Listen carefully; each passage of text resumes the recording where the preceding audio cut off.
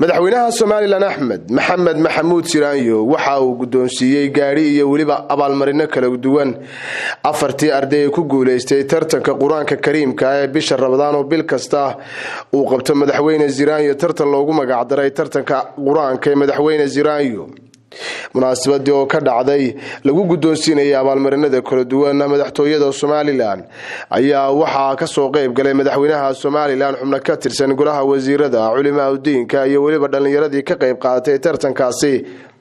Ugu horeyna waxaa faahfaahiyey ujeedada tartankani kuna dhawaaqay afartii arday ee ku kuuleystay kaalmaha ugu horreeya sheekh maxamed aadan oo ka mid ahaa guddigii kala saaraysay ardaydaasi ku tartamaysay qur'aanka kariimka sidaa la sheegay waa tartankii madaxweynaha jamhuuriyadda somalilan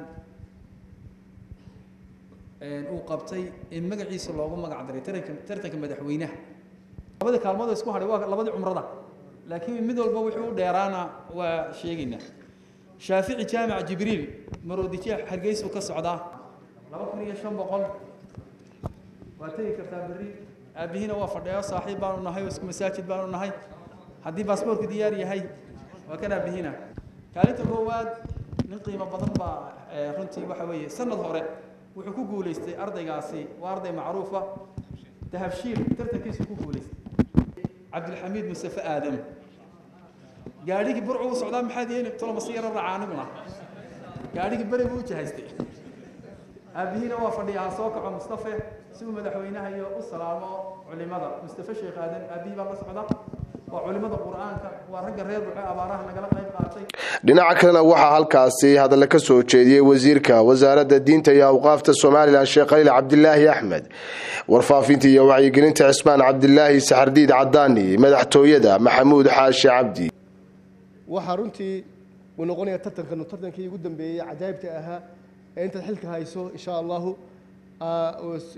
hirgalay oo runtii raad fiican waayo rasuulku wuxuu man sanna sunnatan xasana falahu ajruha.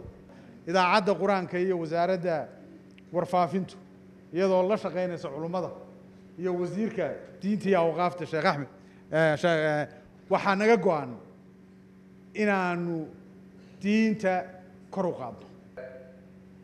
Ugu horreyn waxaanu hambalyeynaynaa dhammaan dhallinyaradii ka kala timi gobollada ee tartankii qur'aanka kariimka ka qayb gashay sideed iyo tobankii arday ee ka kala yimi gobollada dalka waa hambalyeynaynaa si gaar ah waxaanu u bogaadinaynaa ardadii kaalmaha sare galay gaar ahaan halkan jaa-isada madaxweynuhu ku siin doono iyagana si weyn baanu bogaadinaynaa gabagabadii munaasabadaasi ayaa waxaa soo gunaanaday islamarkaana ilaahay uga bariyey ardaydaasi ku guulaysatay. Tartanka qur'aanka kariimka inay noqdaan kuwii anfaca waalidkooga diintooda islamarkaana halkaasi dadaalka ka sii wadaan madaxweyne axmed maxamed maxamuud siraanyo aad baan ugu hambalyaynaya dhalinyarada ku guulaystay tartanka qur'aanka kariimka ah aad baan ugu hambalyaynaya culimmadii ka shaqaysay iyo intii ka shaqaysay oo dhan ilaahna waxaan ka baryaa inu meel waaseyna mariyo aad iyo aad baa umahadsantay wasalaamu calaykum waraxmatullahi wabarakaatu cabdirashiid cabdiwahaab xuseen universal t v. hargeysa